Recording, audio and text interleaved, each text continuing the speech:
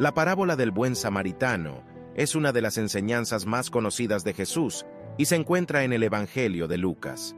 Esta parábola fue contada por Jesús en respuesta a la pregunta de un experto en la ley que buscaba saber quién era su prójimo y cómo heredar la vida eterna.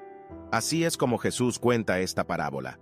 Había un hombre que descendía de Jerusalén a Jericó y cayó en manos de ladrones, quienes lo despojaron, lo hirieron y se fueron, dejándolo medio muerto en el camino. Casualmente un sacerdote pasaba por el mismo camino, pero al verlo pasó de largo. De igual manera un levita llegó al lugar, lo vio y siguió su camino. Pero un samaritano, mientras viajaba, llegó donde estaba el hombre y al verlo sintió compasión.